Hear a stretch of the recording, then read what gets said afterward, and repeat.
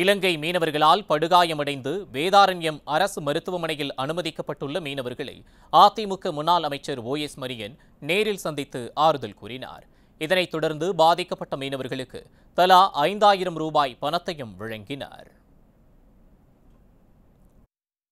தான் இலங்கை சேர்ந்த மீனவர்கள் தான் வந்து இது மாதிரி வேலைகளை வந்து திருட்டு சம்பவத்தை செய்கிறாங்க எங்களுக்கு பொதுவாகவே வந்து கடலில் வந்து பாதுகாப்பு இல்லை. பாதுகாப்பு அவங்களுக்கு இலங்கை இராணுவத்துக்கு நேவல் பாதுகாப்பு இருக்கிற மாதிரி நமக்கும் கோஸ்டலு இவங்க பாதுகாப்போடு இருந்ததுன்னா நம்ம வந்து இந்த சொல்கிறாங்களே எல்லையை தாண்டி போகிறாங்க மீனவர்கள்னு. அது நடக்காமல் தடுக்கலாம். அப்படி ஒரு வேலை இருந்ததுன்னா நமக்கு வந்து இராணுவம் வந்து பாதுகாப்பு கொடுக்கணும்.